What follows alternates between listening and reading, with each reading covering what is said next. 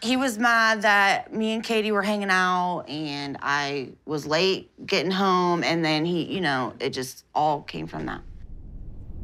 I literally didn't have my phone for like 30 minutes at the most. And Nathan was freaking out, saying that I had been ignoring him and I was going out and hanging out with guys. And then we went to sleep. I thought it was over with.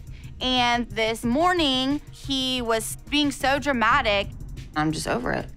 Well, I'm I'm worried. I'm over it too. I mean, He uh, accidentally shuts my phone in the truck door and it breaks, and I broke his phone back. He's just really pissing me the off, so we just need to get away from each other right now. I don't want to see you like this. I don't want to worry about you nonstop again. You don't have to worry. Yes, I do. I'm your mom. Like I'm a nervous wreck. Well, you don't need to be nervous, Mom. I know you babe, have every I right need to be, but- you. No, I need you to get it together, and I need you to decide what you're doing with Nathan. I don't think I don't. The what I'm seeing is not positive.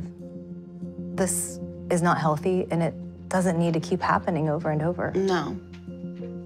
Like, the whole reason that I thought that this relationship would be a good thing was I didn't think that there would be arguments like this or fights like this. But I mean, when you're in jail and talking on the phone in there, you make everything like everything's gonna be great. We're gonna just be so in love and everything's gonna be fine. And then real life is just that's it's a whole different ballgame. I'm worried. I mean, you're literally both two ticking time bombs. like, I mean, seriously, because not just your addiction, but you know, you're both like super competitive and explosive when you argue.